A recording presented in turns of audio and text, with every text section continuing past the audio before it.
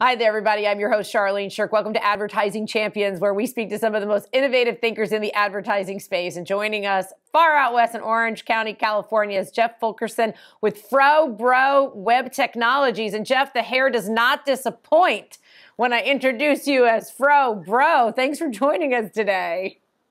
Sure thing. Thanks for having me, Charlene. Oh, we're excited. So let's talk about what you do at FroBro Web Technologies because I've gone to your site and for being a web design site, it's one of the coolest sites and looks like it's a lot of fun over there. Yeah, uh, we like to have fun, but we also like to make sure that there's a good mix of uh, professionalism, right? Because uh, so many business websites out there are boring. So I think we can keep things looking sharp while also letting our personality shine through. And so, are most clients coming to you that they don't have a site at all? Because believe it or not, there are some people out there still going, Do I really need a site? Or are they coming to you because their site has become stale? Most of them are coming because their site is stale. Uh, I have had a couple who didn't have a site, but usually it's just one that they created years ago and they never gave it a second thought.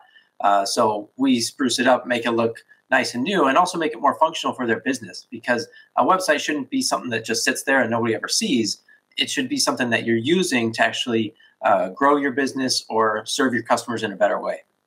And tell us how you help a website do that. Uh, well, obviously, there's the user experience, how it looks, how uh, the navigation. Can a user find the things that they need, the buttons that they want, uh, the if there's documents to download, anything like that. But there's also the functionality piece. It needs to load quickly, needs to work on any size screen, uh, mobile device, uh, and all of those things factor into it. Uh, you want to make sure it's ranked on Google so people can find it. So there's multiple layers, and when we build a site, we actually go through these things one by one: design, messaging, SEO, the functional bits, the optimization, to make sure that uh, all of these pieces are addressed. And when you when you have a client sitting down there, at the end of the day, you can do all those things, but you still need content for the site, right? And that seems to be kind of the choke point for so many people is that the what do I put on the site? How do I make it engaging? How do I make it entertaining so that people will read more and, and navigate my site a little bit better? What are the advice that you have to folks? Because you could exactly what you said. Look, we can make it all the bells and whistles and fancy and do all the latest technology, but if the content isn't convincing, the people will not stay on the site and won't navigate. What, what's your advice for that? Well, there's a couple different types of content that you kind of referenced there. So if if you want someone to do something, that's more of a sales copy, right? You need to help explain why someone should be moving towards a certain action, whether that's scheduling an appointment or putting in their email to download something. Uh, but then there's the blog articles, which are more informative, that share information that uh, help that visitor, but they also let that visitor know that you are an authority on the subject so that uh, if they need help with that thing, they'll want to hire you. Um, and that content can be planned out. You can make content strategy and uh, look at keywords that are out there that people are searching for actively, and then you can write content that answers those questions for things that people are find, looking for resources for. And that way, uh, you build up your content that's relevant that people actually want to read, and that actually builds up your authority and helps the people that are coming to your site. And of those things, what do you think is the most? What are the most effective advertising tactics?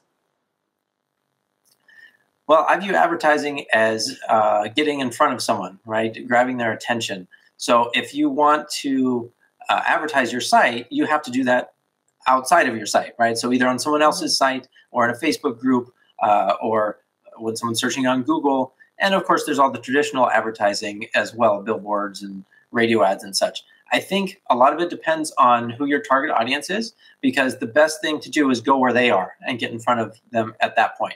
Because uh, if you're trying to sell uh, something to kids and you're only running ads on the radio, there's not as many kids listening to the radio unless it may be a kids radio station like Disney radio or something like that. So you need to know where your audience is and then choose the type of ad that you're running based on that. And then I'm going to wrap up, but I have 30 seconds. Tell me what's your best tip when it comes to marketing your website or what you should have on your website. If I corner you at a cocktail party, Jeff, and I'm like, what's the number one tip you can give me about my website to improve it? What would it be? I'd say the tip is don't stop improving it. Uh, it's never really done. Um, you need to be intentional and think through what you want your website to do for you. Because if it's just there as a checkbox on your list, like, oh yeah, I'm supposed to have a website for my business, then it's not going to help you. But if you think about what you want it to do, is it turning people into customers? Is it better serving your current customers? Because then you can start iterating, improving things little by little, and over time, you're going to have a great website. All right. Well, Jeff, thank you so much for joining us today. We really appreciate your insight on advertising champions. Sure thing. Thanks again for having me. Oh, it's our pleasure. And if you'd like to learn more about what they're doing over there at FroBro Web Technologies, got to check out their site. It's pretty cool. Start by going to dailyadbrief.com. Where else? Well, I'm your host, Charlene Shirk. Thank you so much for joining us for this episode of Advertising Champions.